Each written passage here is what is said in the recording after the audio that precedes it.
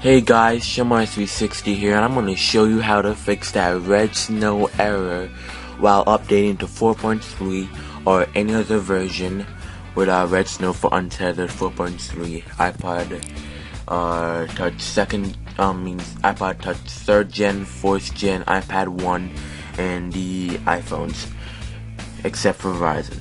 So basically, while you're um update, while you're uh, jailbreaking and you uh finally put your device in DFU mode, it will say um, limera1n uh, exploiting with limera1n, and then it would suddenly crash, freeze, or stop working when it says uploading RAM disk.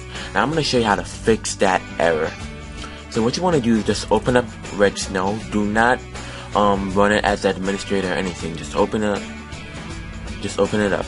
Now what I'm going to ask you to click is uh, um, Control Alt and Delete. So once again, Control Alt and Delete. And then this should come up. I want you to go ahead and click on Task Manager. Start Task Manager. So basically, once you do that, uh, I want you to go. It will bring you to applications up in here, right in this tab right here, and you will see redsn0w. I want you to right click on it and sorry for my mouse like blinking, I'm not sure what's up with that, but right click on it, go down to the bottom of the list, you'll see go to project, click on it, then it'll bring to this page, I want you to right click on it again, go to set affinity, and make sure only CPU1 is only checked.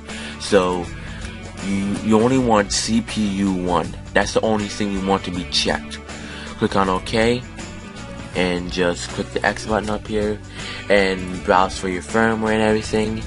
And you know do your thing put it in DFU mode and please hold the home button.